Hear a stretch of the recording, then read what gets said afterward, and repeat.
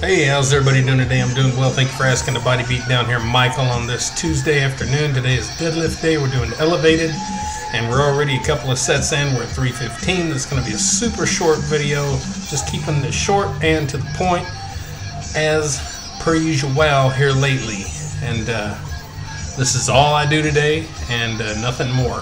So, no sleep, no rest, no nutrition, mentally and physically not there. So I am not pushing myself. And you got to know how to hold back, but still get a good workout in, guys.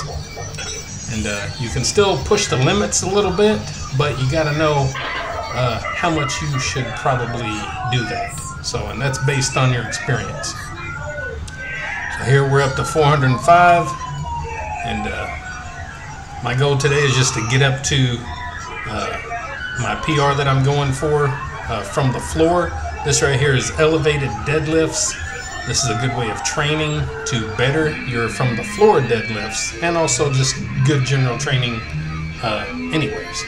So we're only about two inches off the floor here. And, uh, 405, nothing uh, unusual here guys. We've done 405 for 100 videos now. So it still uh, it still pushes me though. It's still uh, really heavy. So uh, now we got 35 on the end and a 2.5 on the end, and uh, that adds up to 480 pounds. And that's going to be my new PR. Uh, once I feel safe and ready uh, to be doing that, which probably won't be for a while until we get in our new house and we get a little bit more time under us. So uh, here we go. Get myself situated. my first first pull like that, I'm always a little wobbly on the bar. But uh, if I were to do another rep of that, it would be nice. So like, share, subscribe, comment, all that good stuff to the body beat down. And don't forget, guys, get up, get out, get rad. Do it to it. We'll see you next time on the body beat